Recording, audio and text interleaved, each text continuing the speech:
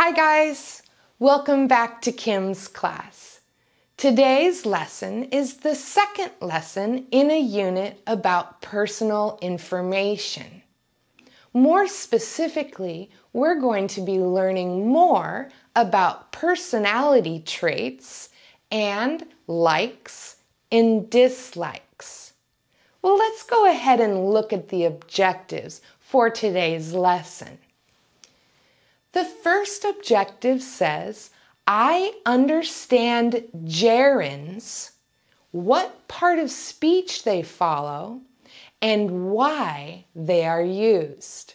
Do you know what a gerund is? It's okay if you don't, because that's what we're going to learn today.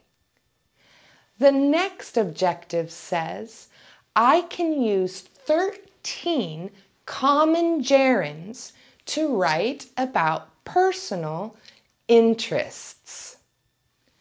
And then the last objective says I can ask and answer questions using gerunds and verbs. Sound confusing? That's okay. That's why we're here to learn. So let's look at our grammar focus for today's lesson. So, like I said, our grammar focus is verbs and gerunds, questions, and statements. I think it's important first to call your attention to what a gerund is. So, a gerund is the base form of a verb plus ing.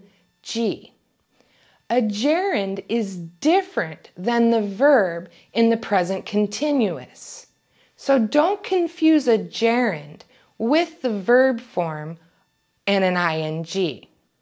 We'll get some practice with that and you'll understand. The difference is that gerunds often follow verbs that talk about things that people like to do. We use gerunds more like nouns than we do verbs. If you look next to that explanation, you'll see that these are the verbs that are often before gerunds. We use the word avoid swimming, can't help thinking, dislike working, enjoy playing. So, do you see how these words avoid, can't help, finish, hate, or like come before a gerund?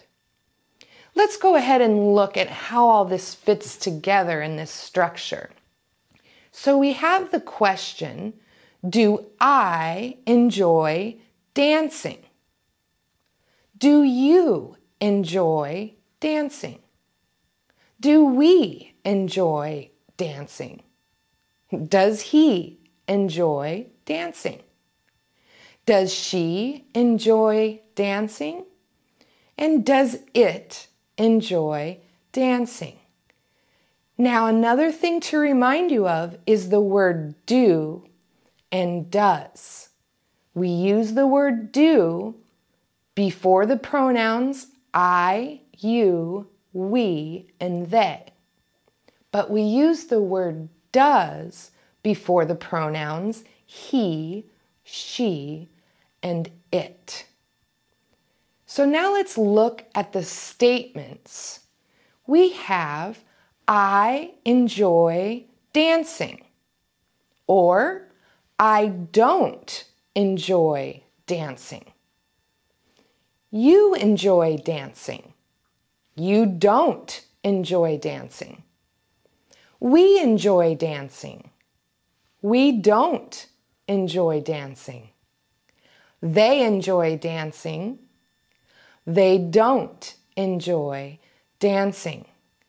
Let's look how the word changes when we use the pronouns he, she, and it you'll notice that we add an S onto the word enjoy. So now we have he enjoys dancing. He doesn't enjoy dancing. She enjoys dancing. She doesn't enjoy dancing. It enjoys dancing. It doesn't enjoy dancing. Remember, the word don't and doesn't is a contraction. Don't is the same as do not, and doesn't is the same as does not.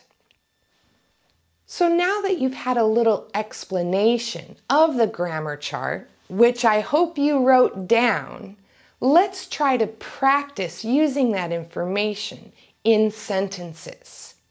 So on your screen, you see eight sentences. You also see eight words in the box above, but those words are not in the form of a gerund. So when you put it in the sentence, you need to change the word to a gerund. So be would be being, swim would be swimming. So go ahead, do the activity, pause the video, and when you finish the activity, you can turn the video on and I will give you the correct answers. Go ahead and pause your video now. All right, class, let's look at the answers and see how we did. Number one, does Vlad like being alone? Number two, do you like shopping on Amazon? Number three, my sister enjoys playing tennis. Number four, Mr. Contreras doesn't like getting up early. Number five, I love listening to music when I take walks. Number six, do you mind going to the movies by yourself? Number seven, most people don't enjoy paying bills every month. And number eight, Dolores dislikes doing English homework. So now that you've practiced putting single words into sentences, I want you to try writing the sentences all by yourself. So on the screen, you see eight questions. You see also words that I want you to put in the sentence. So you are going to make a complete sentence starting with the question. Now remember, the question will either start with the word do or it will start with the word does. Start your sentence with either do or does and write your sentence. Then you need to answer the questions. Now remember, you're going to have to change it from yes, I do, no, I don't, yes, she does, no, she doesn't. Make sure you use the correct form.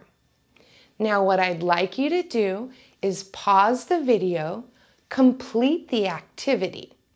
When you're finished with the activity, hit play and I'll give you the answers. Go ahead and pause your video now. All right, class, let's see how we did with writing our sentences. Number one, does Vlad like swimming? Answer, yes, he does. Number two, does Floor love dancing? Answer No, she doesn't. Number three, does Ahmed mind cleaning? Answer No, he doesn't. Number four, do Yolanda and Jude hate shopping? Answer Yes, they do. Number five, Do you dislike watching TV? Answer No, I don't. Number six. Do I love sleeping in? Answer Yes, I do. Number seven. Does Tony enjoy listening to music? Answer Yes, he does. Number eight. Do Patty and Pedro love paying bills? Answer No, they don't. Great job writing eight good sentences in English. Practice makes perfect. Now that the lesson's finished, let's take a look at our objectives and see if we've learned everything I hope you would have learned. Can you understand gerunds? Do you know what part of speech they follow? Do you know why they're used? I bet you do. Can you use those 13 common gerunds to write about personal interests? We had some practice with that in the first activity. And the last objective says, can you ask and answer questions using gerunds and correct forms of verbs? We did that as well. So, class, that's our lesson for today. But before you go, I'd like you to do four things for me. Is that okay? The first thing I would like you to do is to hit the like button below this video. The next thing I want you to do is subscribe to my YouTube channel. That way, every time I post a new video, you'll get a notification. Wouldn't you like that? The next thing I'd like you to do is to find someone to share this video. I'm sure you know people, friends, family, people you work with, that may find these lessons as interesting as you do. And the last thing I'd like you to do is write a comment in the comment section below. We've been talking about personal interests, likes, dislikes, and personality traits. Write me a sentence about you.